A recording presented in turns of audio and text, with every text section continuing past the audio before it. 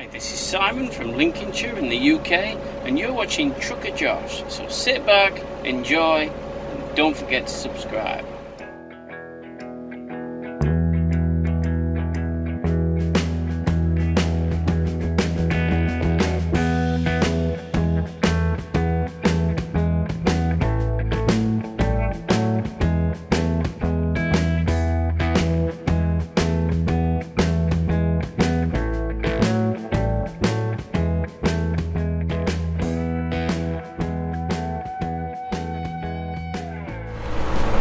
Good morning, people of planet Earth. Wherever else you might be watching this, leave a comment if you're somewhere else. We're here in uh, Calgary, Alberta. We're about to deliver this freight I got behind me. I got those, I don't know what they're called. They're like uh, mobile generator lights. Mobile, mobile generator lights. Let's go take a look. I'll show you in just a sec. We gotta deliver them just down the road here and then we're headed up to Edmonton and we gotta wait till tomorrow at 1 p.m to load a, a, like a big fuel tank that's going down to Bryan, Georgia. It's got to be there next Thursday, so I got some time to stop at home on the way down. It's a four and a half day trip down from here. We're going to be leaving all of this wonderful snow and white stuff behind. And I have a feeling that around Bryan, Georgia, there may be some palm trees. Just saying.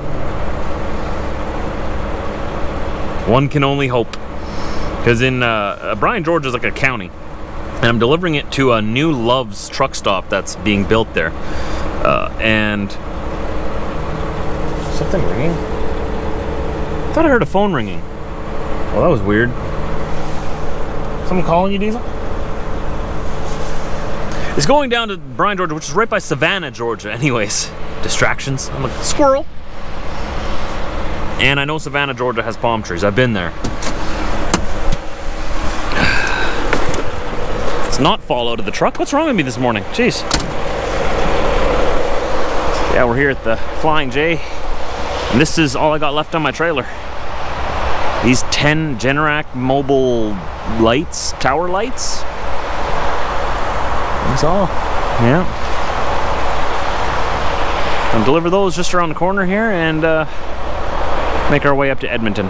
We got lots of time, so. Slowly make our way down the street here.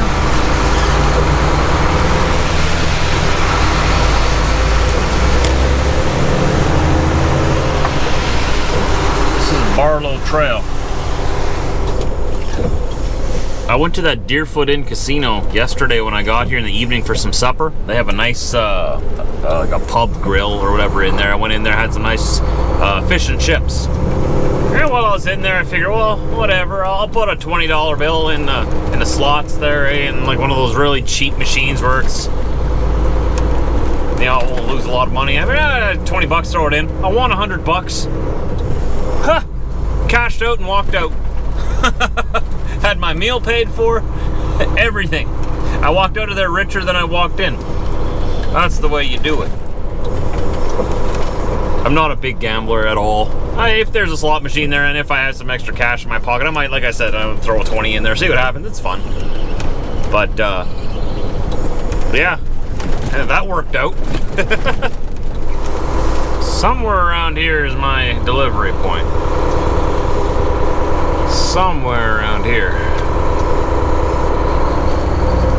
What do I do here? I turn left? Okay, so I'll go around this corner here. This is an interesting way to build a road. Still makes more sense than anything in Winnipeg.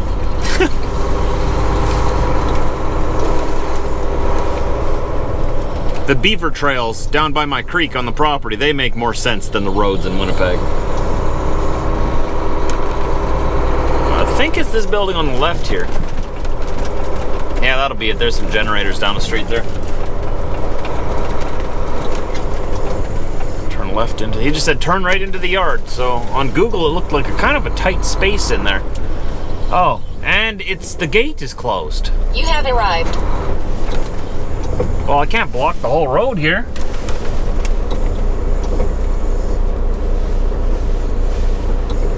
Why is the gate closed?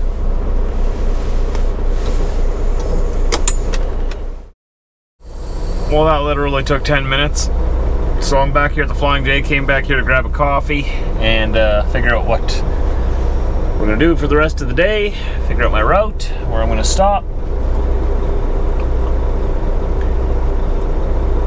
And we're gonna go to the Flying J on Pembina Road in Sherwood Park, which is Edmonton.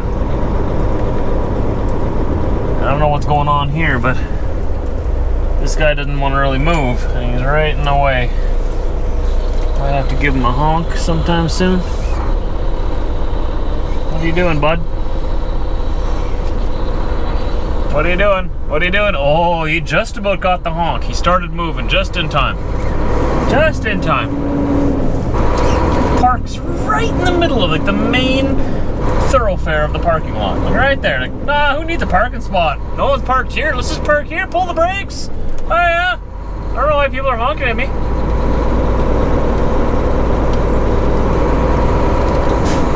So I just put in winter antifreeze or winter uh, washer fluid, pardon me, into our uh, into my into my truck here because yesterday I was driving through minus 23 at some points there in Celsius, and my windshield washer fluid was freezing. So used up the rest of that and put in winter stuff now. Actually a really nice temperature here in Calgary right now. It's about uh, say plus five Celsius, so probably around I don't know 40 Fahrenheit, somewhere around there. Not too bad at all.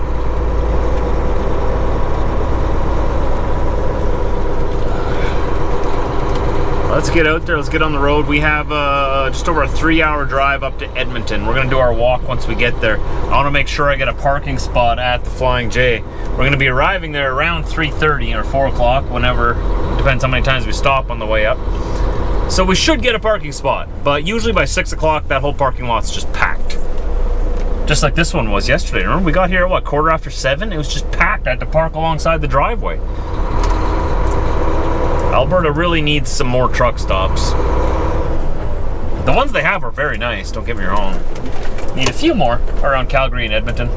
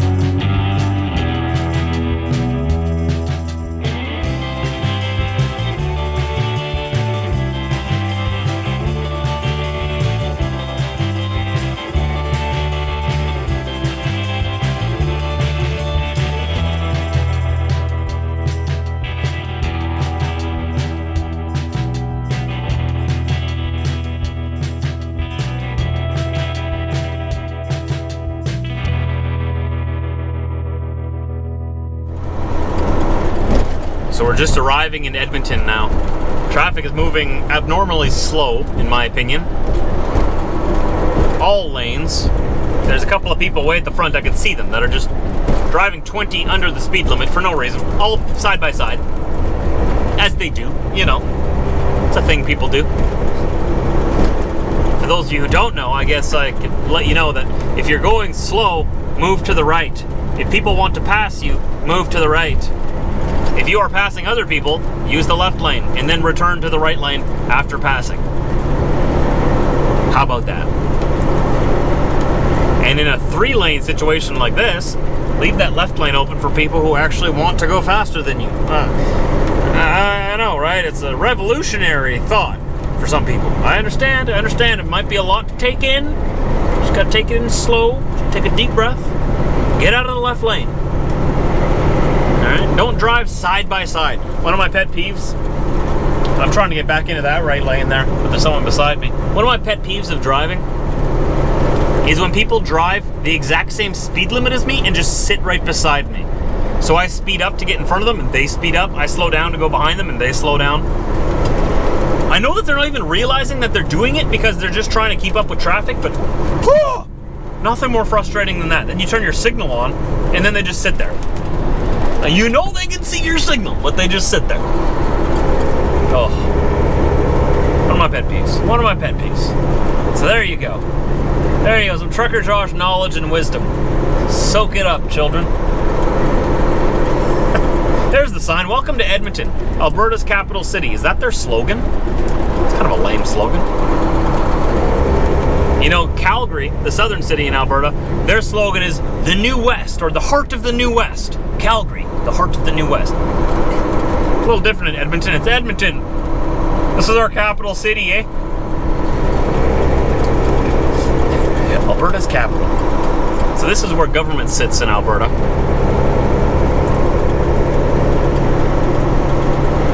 Where am I supposed to go here? Kilometers. Oh, I gotta turn Keep right? To left on Highway 260 keep left? Anthony Henday Drive. What? Okay, so I gotta keep left, but then I gotta turn right.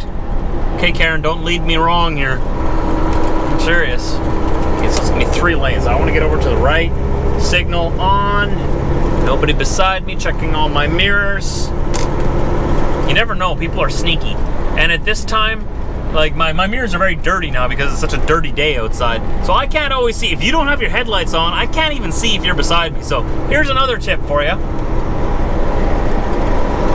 This one's free.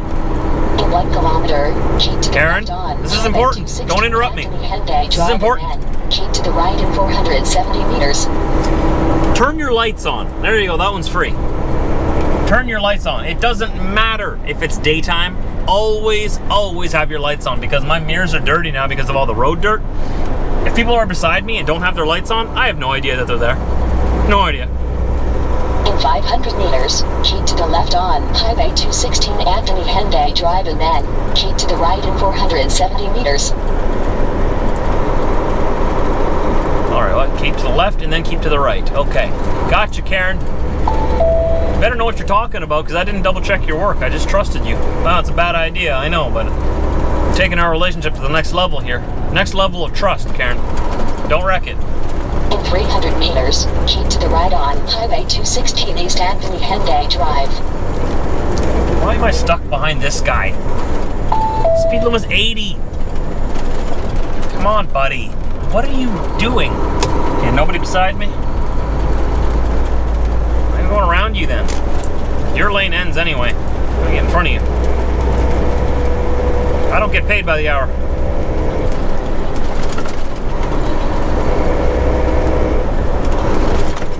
Okay, so we're going around to the east side of Edmonton where we're gonna stop at the Flying J. We can hook into the internet, watch some Netflix, one kilometer, keep to the left on Highway 216 East. and have a shower. We're gonna go for a walk as soon as we get there.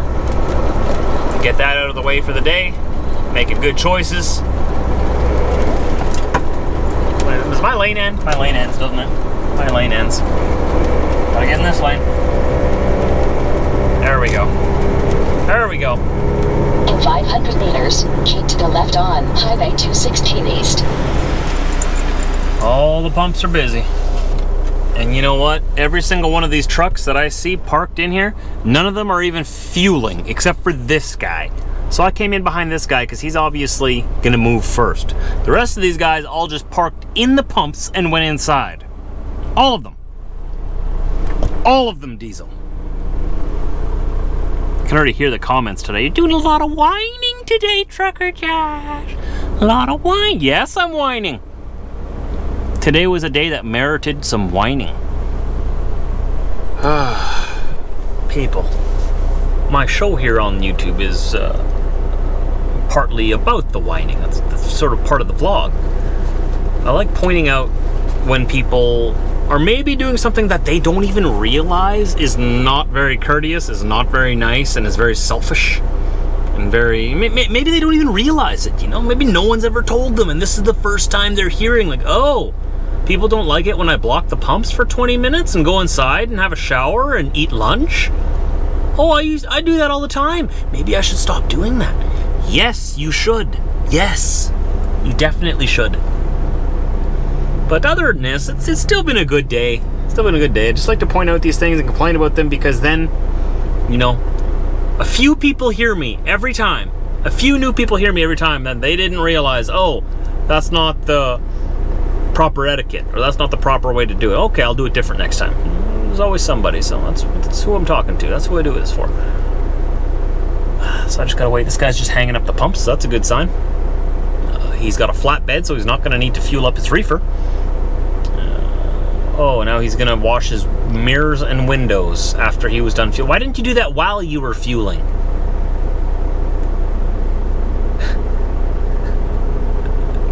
Yes, you are absolutely right.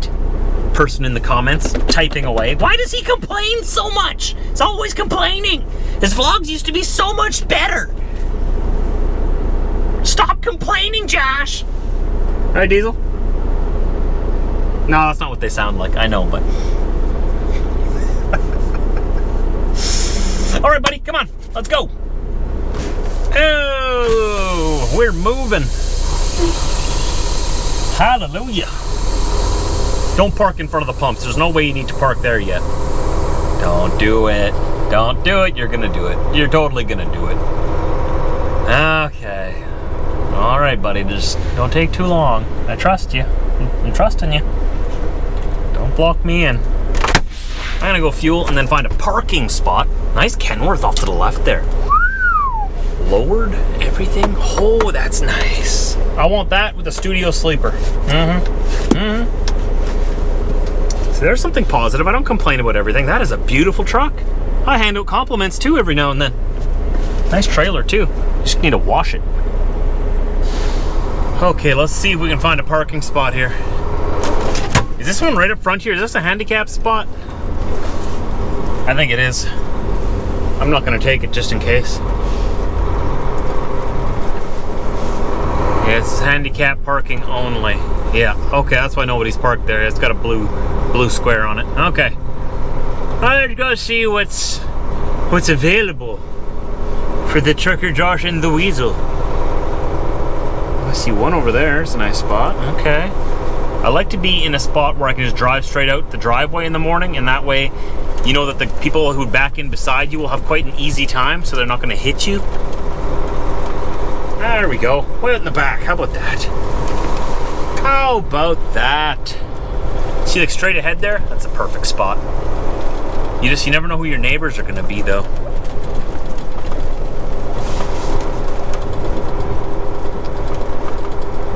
I beside that guy. That guy's got a reefer. This, man, that Volvo's been there a while. How long do you leave your truck here for, bud? Oh, is that corner spot open? No way. Is it open? It's open? No way. Oh, sweet. I'm taking it. I'm taking it. It's mine. Dibs. Dibs. Backing in. Sweet. I know, right? I'm excited too. What a sweet spot. Look at this. No neighbors over here. No neighbors over there. A bobtail in that spot there, which shouldn't be there. You can see it in the mirror, right? Diesel, can you move your head? So can you move your head? There you go. There's a bobtail in, in beside me there, which has been parked there for weeks by the looks of it. Not very nice, but at least we won't have any neighbors there, right, Diesel? those of you asking about my poppy, there it is, right there. It's there all year round, 365 days a year is Remembrance Day. Shut the truck off. So yes, this is where we're gonna spend the night. Sometimes I don't always like being in the back corner like this because I'm worried someone's gonna come and steal my fuel. But I noticed that there's a big light right above my truck here shining down on my truck. So as long as that light works, we'll be nicely lit. And hopefully no one steals our fuel. I need to get locking fuel caps. Keep forgetting, but those are important. There are douchebags out there who will come and steal your fuel at night because they're cheap, they're mean, they're evil, and they're bad. But hey, bad people exist in this world, right? That's why we have to try to be good people because if the good people don't do anything, then the bad people automatically win. Isn't that how the saying goes? All that it takes for evil to triumph is for good men to do nothing. So you just got to try to be that good person. I'm not tired at all. So it's uh 3:30 p.m. here. Still got a lot of caffeine in my system. My blood pressure was really good this morning, by the way, speaking of caffeine. And really good last night as well. Like it was something like 119 over 74 this morning and 118 over 78 last night. So it was actually really good. So I don't know what was causing my high blood pressure, but we got to keep monitoring it. I have an appointment next month, uh, early next month, to get uh, my family doctor, my doctor, to give me a, a full look over. I got to get a full physical, full checkup. Fun stuff. Oh no, somebody's idling with a an engine fan. Was that you? Oh no, no, no, no! It's that international down over there, I think. This guy, this guy here's not idling. That international down there. Just so you guys know, here's a little tip from a guy who's been trucking for more than 10 years. When you park at a truck stop, if you want a quiet night, don't park beside an idling international or an idling Peterbilt. Because their engine fan kicks on every three minutes. And for some reason internationals and peterbilts have very very obnoxiously loud engine fans. So you have this like kick on for one minute or so every three minutes drives a person insane who's just trying to sleep i'm a little picky when i want to sleep you, you guys know this you know me i want a quiet night that's why we park back here where we have no neighbors perfect. And I can walk the weasel right here. And hey, if this was summertime, I could even go for a dip and swim in there. I wouldn't recommend that. I, have never actually done that, and I wouldn't. But hey, there's a pond right next to me. So thanks for watching today. Thanks for listening to me complain. Thanks for all the comments talking about me complaining. I appreciate it. Uh, thanks for all you complainers out there who are going to start complaining about me complaining. Hey, we can all complain together. We'll have a little complaining circle back and forth. So go down below, leave me a comment, let me know what you think. Give me a thumbs up if you liked the vlog. If you hated the vlog, give it a thumbs down. If you liked it, share it with your friends so they can enjoy it too. If you hated it, share it with your friends so that they can see how terrible it was as well. Spread the word either way. I'll see you guys tomorrow. Tomorrow we pick up that tank that's headed to Georgia you